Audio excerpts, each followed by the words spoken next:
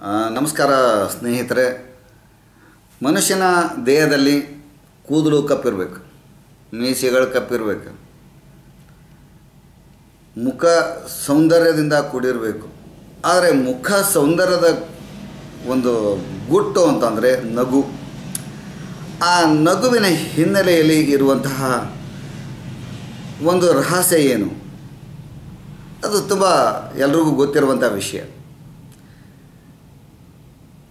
ನಗುವಿಗೆ ಈ ಬಾಯಿಯಲ್ಲಿರುವಂತಹ ಹಲ್ಲುಗಳು ಬಿಳುಪಾಗಿ ಫಳ ಫಳ ಅಂತ ಹೊಡಿತಾ ಇದ್ದರೆ ಅದ್ರ ಮಜ್ಜನೇ ಬೇರೆ.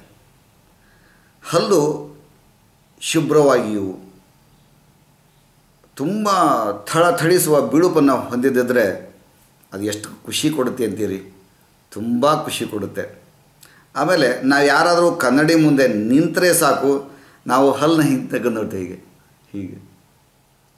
ಅಯ್ಯೋ, ಇಲ್ಲಿ ಎಲ್ಲ ಹಳದಿ ಹಳದಿಗಟ್ಟಿದೆ ಅಂತ ನಾವು, ನಮಗೆ ನಾವೇ ವಿ ಫೀಲ್ ಯಾಕೆ ಹೀಗಾಗುತ್ತೆ? ಯಾಕೆ ಹೀಗಾಗುತ್ತೆ ಅಂತಂದರೆ ನಮ್ಮ ಆಹಾರ ಸೇವನೆಯಲ್ಲಿರುವಂತಹ ಒಂದಷ್ಟು ಹವ್ಯಾಸಗಳು.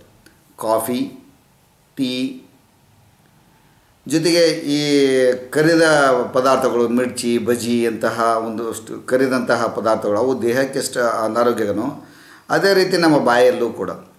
ನಮ್ಮ ಬಾಯಿಗೆ ಪುರ್ಸತ್ತೆ ಇಲ್ಲರಿ ಹಾಗಾಗಿ ನಾವು ಏನೇನು ಸಿಗುತ್ತೆ ಎಲ್ಲ ಸುಮ್ಮನೆ ತಿಂತಾನೇ ಇರ್ತೀವಿ. ಅದರ ದುಷ್ಪರಿಣಾಮ ಹಲ್ಲುಗಳು ಮತ್ತು ಒಸಡಿನ ಮೇಲಾಗುತ್ತೆ, ನಾಲಿಗೆ ಮೇಲಾಗುತ್ತೆ.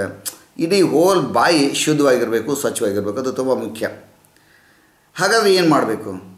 ಮನೆಯಲ್ಲಿಯೇ ಇರುವಂತಹ ವಸ್ತುಗಳನ್ನು ಬಳಸಿಕೊಂಡು ನಾವು ಹೇಗೆ ನಮ್ಮ ಹಲ್ಲನ್ನು ಫಳಪಡಿಸುವಂತೆ, ಥಳಥಳಿಸುವಂತೆ, ಬಿಳುಪಾಗಿ ಇರುವಂತೆ ಹೇಗೆ ಮಾಡ್ಕೊಳ್ಬೋದು ಮನೆಯಲ್ಲಿ ಹಿರಿಯರನ್ನ ಕೇಳಿ ನೋಡಿ, ಗೊತ್ತಾಗುತ್ತೆ. ಇಲ್ಲ ನೋಡಿ, ಇಲ್ಲಿದೆ ಅಲ್ಲ, ಇದು ಉಪ್ಪು. ಒಪ್ಕೋತೀರಾ? ಉಪ್ಪಿದು. ಹೌದಾ? ಉಪ್ಪು. ಉಪ್ಪು ಅಥವಾ soda. Baking soda. Sodium carbohydrate ಅಂತೀವಲ್ಲ ಅದು.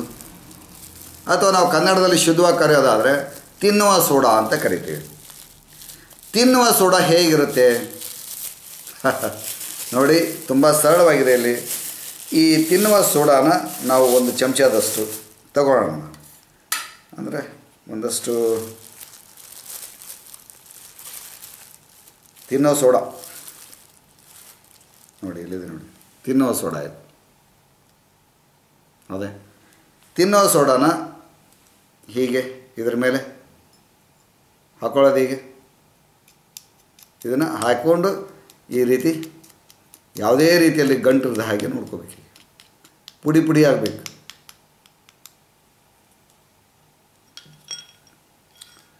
ಈ ತಿನ್ನುವ ಸೋಡಾ ಅಥವಾ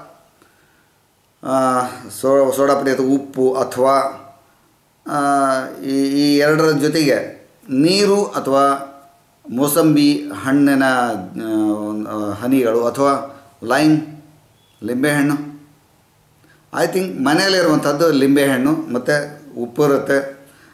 ತಿನ್ನೋ ಸೋಡಾ ಅಂತೂ ಸಾಮಾನ್ಯ ಮನೆಯಲ್ಲಿ ಯೂಸ್ ಮಾಡ್ತಾರೆ. ಹೆಚ್ಚು ಯೂಸ್ ಮಾಡಬಾರ್ದು ಬಟ್ ಒಂದು ಒಂದು ಹದದ ಹದದ ಪ್ರಮಾಣದಲ್ಲಿ ಸೋಡಾ ಯೂಸ್ ಮಾಡಿದ್ರೆ ಏನು ತೊಂದರೆ ಇರೋದಿಲ್ಲ.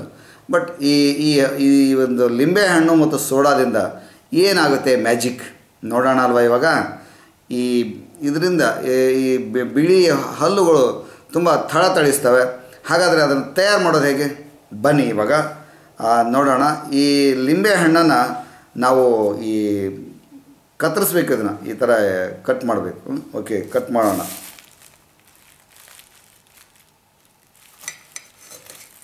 ಹೀಗೆ. ಫೈನ್ ನೋಡಿ, ಈ ಥರ ಕಟ್ ಮಾಡಿದ್ವಿ. ಲಿಂಬೆಹಣ್ಣನ್ನು ಲಿಂಬೆಹಣ್ಣನ್ನು ಈ ಥರ ಕಟ್ ಮಾಡಾದಮೇಲೆ ಅದರಲ್ಲಿರುವಂತಹ ಬೀಜಗಳನ್ನು ಸರಿಸ್ಬಿಡೋಣ. ಆಮೇಲೆ ಈ ಲಿಂ, ಇದು ಇದೆಯಲ್ಲ, ಇಲ್ಲಿ ನೋಡಿ ಇಲ್ಲಿ, ಇದಕ್ಕೆ.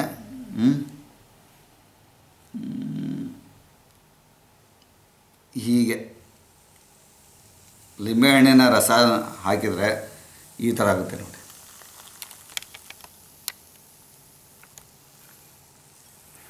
ಹೌದಾ?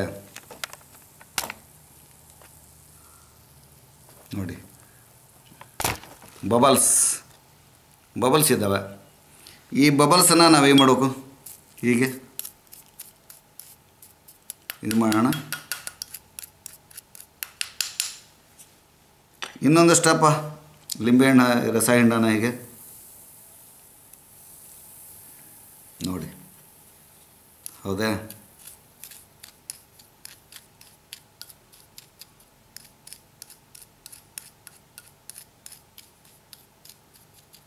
ಇದು ತಯಾರಾಯ್ತು ನೋಡಿ ಇವಾಗ.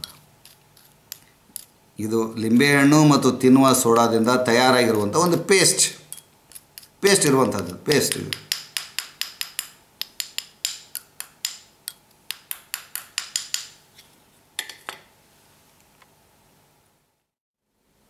ಇದು ಉಪ್ಪು, ಇದು ಲಿಂಬೆಹಣ್ಣು ಕೊಯ್ದಂಥ ಕತ್ತರಿಸಿದಂಥ ಲಿಂಬೆಹಣ್ಣು. ಇಲ್ಲ, ನಮಗೆ ಉಪ್ಪು ಬೇಡ ಅನ್ನೋದಾದರೆ ಇಲ್ಲಿದೆ ನೋಡಿ. ಸೋಡಾ ತಿನ್ನೋ ಸೋಡಾ. ತಿನ್ನುವ ಸೋಡಾ ಮತ್ತು ಈ ಉ- ಹಣ್ಣನ್ನು ಬಳಸಿದಂತಹ ಪೇಸ್ಟ್ ಈ ತೀರ ತಯಾರಾಗಿದೆ. ಈ ತಯಾರಾಗಿರುವಂಥ ಈ ಪೇಸ್ಟನ್ನು ನಾವು ಈ ಹಲ್ಲನ್ನ ತಿಕ್ಕೋದಕ್ಕೆ ಬಳಸಬೇಕು. ಹೇಗೆ ಹಲ್ಲು ತಿಕ್ಕೋದು ಹೇಗೆ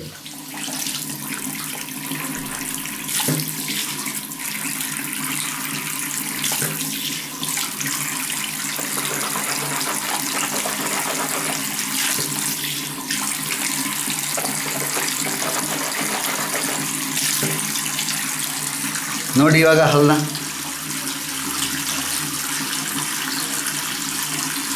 ಹೌದೇ? ಹಲ್ಲು ಈ ರೀತಿ ಥಳ ತಳಿಸ್ತವೆ ಫಳ ಪಳಿಸ್ತವೆ ಬಿಳಿ ಬಿಳಿ ಹಲ್ಲುಗಳು ನಮ್ಮ ವ್ಯಕ್ತಿತ್ವಕ್ಕೊಂದು ಕಿರೀಟ ಇದ್ದ ಹಾಗೆ. ಮನೆಯಲ್ಲೇ ಇರುವಂತಹ ವಸ್ತುಗಳನ್ನು ಬಳಸಿಕೊಂಡು ನಾವು ನಮ್ಮ ಆರೋಗ್ಯವನ್ನು, ಹಲ್ಲಿನ ಆರೋಗ್ಯವನ್ನು ರಕ್ಷಣೆ ಮಾಡಿಕೊಳ್ಳುವಂಥ ವಿಧಾನ ಇದು. ಇದನ್ನು ಅನುಸರಿಸಿ ಯಾವುದೇ ತೊಂದರೆ ಇಲ್ಲ. ವಾರದಲ್ಲಿ ಎರಡು ಬಾರಿ ನಾನು ಈ ಥರ ಮಾಡ್ತೇನೆ. ಅಥವಾ ಹದಿನೈದು ದಿನದಲ್ಲಿ ಮೂರು ಬಾರಿ ಮಾಡಿದರೂ ಸಾಕು, ಇಷ್ಟು ಬೆಸ್ಟ್. ಎನಾಮಲ್ಗೆ ಯಾವುದೇ ರೀತಿಯ ಧಕ್ಕೆ ಬರಬಾರ್ದು ಅನ್ನೋದಾದರೆ, ಮೂರು ನಿಮಿಷದಕ್ಕಿಂತ ಹೆಚ್ಚು ಕಾಲ ನಮ್ಮ ಆ ಪೇಸ್ಟ್ ಏನು ಮಾಡಿ ರೆಡಿ ಮಾಡಿದ್ವಿ, ಅದು ಹಲ್ಲಿನಲ್ಲಿ ಇರಬಾರ್ದು. ಜೊತೆಗೆ ಬಾಯಲ್ಲಿ ಇರಬಾರ್ದು. ಹದಿನೈದರ ದಿನದಲ್ಲಿ ಮೂರು ಮೂರು ಬಾರಿ ಈ ರೀತಿ ಪೇಸ್ಟ್ ಮಾಡ್ತೀವಿ ಅಂದರೆ ನಿಮ್ಮ ಹಲ್ಲುಗಳು ಮತ್ತಷ್ಟು ಹೊಳಪಾಗ್ತವೆ ಹೊಳಪಾಗ್ತಾ ಹೋಗ್ತವೆ. Take care of our teeth fine thank you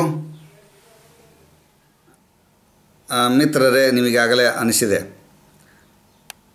ನಿಜಕ್ಕೂ ನಿಮ್ಮ ಹಲ್ಲುಗಳು ಥಳಥಳಿಸುವ ಬಿಳುಪಿನಿಂದ ಹೊಳೆಯಬೇಕಾದಲ್ಲಿ ಮನೆಯಲ್ಲೇ ಇರುವಂತಹ ವಸ್ತುಗಳನ್ನು ಬಳಸಿ, ಹೇಗೆ ಅವುಗಳನ್ನು ಶುದ್ಧೀಕರಿಸಿಕೊಳ್ಬಹುದು ಯಾವುದೇ ರೀತಿಯ ಕಲೆಗಳು ಹಲ್ಲಿನ ಮೇಲೆ ಆಗದ ಹಾಗೆ ನೋಡ್ಕೋಬಹುದು, ಜೊತೆಗೆ ಹಲ್ಲುಗಳ ರಕ್ಷಣೆಯಲ್ಲಿ ಇವುಗಳ ಪಾತ್ರ. ಮತ್ತು ಇದನ್ನು ಸ್ವಲ್ಪ ಉಪ್ಪು ನೀರನ್ನು, ಸ್ವಲ್ಪ ಬಿಸಿನೀರಿನಲ್ಲಿ, ಅಂದರೆ ತುಂಬ ಕೈ ಬಿಸಿ, ಕೈ ಬೆಚ್ಚಗಿರುವಂತಹ ಇದರಲ್ಲಿ ಉಪ್ಪನ್ನು ಹಾಕಿ ಬಾಯಿ ಮುಕ್ಕಳಿಸೋದ್ರಿಂದ ಬಾಯಲ್ಲಿರುವಂತಹ ಯಾವುದೇ ಸೂಕ್ಷ್ಮಾಣುಗಳು ಅನಾರೋಗ್ಯಕ್ಕೆ ಒಳಗಾಗಬಹುದಾದಂಥದ್ದು. ಅದೆಲ್ಲ ಇಲ್ಲಿ ನಿಮಗೆ ರಿಲೀಫ್ ಆಗುತ್ತೆ. ಹಾಗಾಗಿ ಮನೆಯಲ್ಲೇ ಇರುವಂಥ ವಸ್ತುಗಳನ್ನು ಬಳಸುವ ಮೂಲಕ ನಾವು ನಮ್ಮ ಹಲ್ಲುಗಳ ಸ್ವಚ್ಛತೆಯನ್ನು, ಬಾಯಿಯ ಸ್ವಚ್ಛತೆಯನ್ನು ಮಾಡ್ಕೊಳ್ಬೋದು. ಏನಂತೀರಿ? ನಾನಂತೂ ವಾರದಲ್ಲಿ ಒಂದು ಬಾರಿ, ಹದಿನೈದು ದಿನಕ್ಕೆ ಮೂರು ಬಾರಿ ಈ ಥರ. ಒಂದೊಂದು ನಾಲ್ಕು ದಿವಸಕ್ಕೊಮ್ಮೆ ಅಥವಾ ಐದು ದಿವಸಕ್ಕೊಮ್ಮೆ ಅಂತರದಲ್ಲಿ ಒಂದೊಂದು ಬಾರಿ ಮಾಡ್ಕೋತಾ ಹೋದರೆ ನಮ್ಮ ಈ ರೀತಿಯ ಇದು. ಅಂದರೆ ಸಾಮಾನ್ಯವಾಗಿ ಇದನ್ನು ರಾತ್ರಿ ಮಲಗೋ ಪೂರ್ವದಲ್ಲಿ ಮಾಡಿಕೊಂಡ್ರೆ ಬೆಸ್ಟ್. ಇದು ನನ್ನ ಅನುಭವ ಕೂಡ. ನನ್ನ ಹಲ್ಲುಗಳು ಮಸ್ ಮೊದಲು ಸ್ವಲ್ಪಷ್ಟು ಅಲ್ಲಲ್ಲಿ ಇದು ಇತ್ತು ಏನು ಆ, ಹಳದಿ ಗಟ್ಟದಂಗೆ ಆಗಿತ್ತು. ಸ್ವಲ್ಪ ಕಪ್ಪು ಕಪ್ಪು ಸ್ವಲ್ಪ ಏನೋ ಅನಿಸ್ತಾ ಇತ್ತು. ಆಮೇಲೆ ಹ ಹಲ್ಲು ಸಾಮಾನ್ಯ ಬರುವಂಥ ಸಣ್ಣ ಹಲ್ಲು ಕೂಡ ಈಗ ಕಡಿಮೆ ಆಗಿದೆ. ನಾನೇನಂತೀನಿ ಸುಮ್ ಸುಮ್ಮನೆ ನಾವು ರಾಸಾಯನಿಕ ಬಳಸಿಕೊಂಡು ದವಾಖಾನೆಗೆ ಹೋಗಿ ಡಾಕ್ಟ್ರಿಗೆ ದುಡ್ಡು ಕೊಟ್ಟು ಸುಮ್ಮನೆ ನಮ್ಮ ಹಲ್ಲುಗಳನ್ನ ಇದು ಮಾಡ್ಕೊಳ್ಳೋಕ್ಕಿಂತ ಹೆಚ್ಚಾಗಿ ಮನೆಯಲ್ಲೇ ನಾವು ಎಷ್ಟು ಸಾಧ್ಯವೋ ಅಷ್ಟು ಮನೆಯ ವಸ್ತುಗಳನ್ನ ಬಳಸಿಕೊಡೋ ಮೂಲಕ ನಮ್ಮ ಬಾಯಿಯ ಆರೋಗ್ಯ ಮತ್ತು ಹಲ್ಲಿನ ಆರೋಗ್ಯವನ್ನು ಕಾಪಾಡ್ಬೋದು. ತುಂಬ ಅಗತ್ಯ ಅನಿಸಿದಲ್ಲಿ ಮಾತ್ರ ನಾವು ವೈದ್ಯರನ್ನ ಭೇಟಿ ಮಾಡ್ಬೋದು. ಅದೇನು ತೊಂದರೆ ಇಲ್ಲ. ಬೇಕಾದ್ರೆ ಆರು ತಿಂಗಳಿಗೊಮ್ಮೆ ನೀವು ವೈದ್ಯರನ್ನ ಭೇಟಿಯಾಗಿ ಏನು ತೊಂದರೆ ಇದೆ? ಅಲ್ವೇ? ಬಟ್ ಒಸಡು ತಿಕ್ಕುವಂಥ ವಿಧಾನ, ಹಲ್ಲು ತಿಕ್ಕುವಂಥ ವಿಧಾನ ಪಕ್ಕ ಇರಲಿ. ನೀವು ಬಳಸುವಂಥ ಬ್ರಷ್ಗಳು ಸಾಮಾನ್ಯವಾಗಿ ಮೃದುವಾದನ್ನು ತೊಗೊಳ್ರಿ. ಹಾರ್ಡ್ ಇರೋದನ್ನು ತೊಗೋಬೇಡಿ. ಹಲ್ಲನ್ನು ಸ್ವಚ್ಛ ಮಾಡ್ಕೋಬೇಕೇ ಹೊರತು ಉಜ್ಜಬಾರ್ದು ನಾವೇನು ಮಾಡ್ತೀವಿ? ಹಲ್ಲನ್ನು ಹಿಂಗೆ ಉಜ್ಜುತ್ತೀವಿ ಭ್ರಷ್ಟವನಿ ಹಿಂಗೆ ಗಸ, ಗರ ಗರ ಒಂಥರ ಗರಗಸ ಉಜ್ಜಿದಂಗೆ ಉಜ್ತೀವಿ ಉಜ್ಜೋದಲ್ಲ ಮೇಲೆ ಕೆಳಗೆ ಮೇಲೆ ಕೆಳಗೆ ಈ ರೀತಿ. ಮೃದುವಾದ ಮೃದುವಾದ ಬ್ರಷ್ನಿಂದ ನೀವು ಅದನ್ನು ಉಜ್ಜೋದನ್ನು ರೂಢಿ ಮಾಡ್ಕೊಳ್ಳಿ. ನಿಮ್ಮ ಹಲ್ಲುಗಳು ಸುರಕ್ಷಿತವಾಗಿರ್ತವೆ. ಒಸಡುಗೂ ತೊಂದರೆ ಆಗೋದಿಲ್ಲ. ಮತ್ತು ನೈಸರ್ಗಿಕವಾಗಿ ಇರುವಂತಹ ಮನೆಯ ಮೂಲದ ಒಂದಷ್ಟು ಔಷಧೋಪಯೋಗಿ ಇರುವಂಥ ಆಹಾರದ ಪದಾರ್ಥಗಳನ್ನೇ ಬಳಸಿಕೊಂಡು ನಮ್ಮ ಆರೋಗ್ಯನ ಕಾಪಾಡ್ಕೊಳ್ಬೋದು. ನಾನಂತೂ ಮಾಡ್ತಾಯಿದ್ದೀನಿ ನನ್ನ ಅನುಭವ ಇದೆ. ನೀವು ಮಾಡಿಕೊಂಡ್ರೆ ಒಳ್ಳೆಯದು ಅಂತ ನನ್ನ ಅಭಿಪ್ರಾಯ. ವಿಚಾರ ಮಾಡಿ ಏನು ಮಾಡ್ತೀರಿ ಅಂತ?